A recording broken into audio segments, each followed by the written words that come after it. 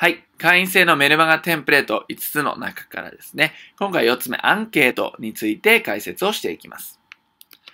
まあ、会員限定のメルマガでアンケートを取りましょうということなんですけども、まあ簡単ですね。会員様に質問を送りましょうということです。どういった質問がね、こう送った方がいいかっていうと、まあ、欲しい商品とかサービスはないですかということでアンケートを取っていきましょうということですね。で、実際にお客さんの生の声を取っていくということになりますね。あとは顧客満足度なんですけども、まあどうですかと。まあ成果報告もそうですけれども、実際に使ってみてどうですかみたいなところを実際に聞いていくということですね。でこれわからないと、まあ新しい商品、例えば改善できませんし、まあ、必要な声をこう、汲み取る仕組みがそもそもないとですね、よりいい会員制になっていきませんしね、この会員のためにやってくれてるんだな、動いてくれてるんだなっていうのはね、しっかり伝わっていかないとね、まあ、その満足度っていうところとか、まあ、継続する意義みたいなところをね、感じづらくなってしまいますので、この質問を送って、まあ、アンケート、質問、どちらでも大丈夫です。まあ、素朴な質問でもいいですしね、欲しい商品ありませんか？これについてどう思いますか？っていうような質問を送っても OK ですよと。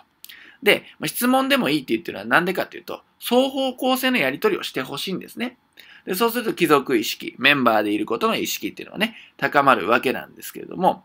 やり取りをしてくださいと。会員さんね、こういうのどうですか？まあ、メールマガジンでもいいですし、別に Facebook グループでもいいわけです。こういうことを考えてるんですけど、なんかね、アイディアありますか？っていうことでもいいんです。で、会員様と同時に、同時進行で、まあ、双方向で商品開発とかサービスの開発を行ってもいいわけなので、まあね、双方向で連絡を取りましょうっていうのがポイントになります。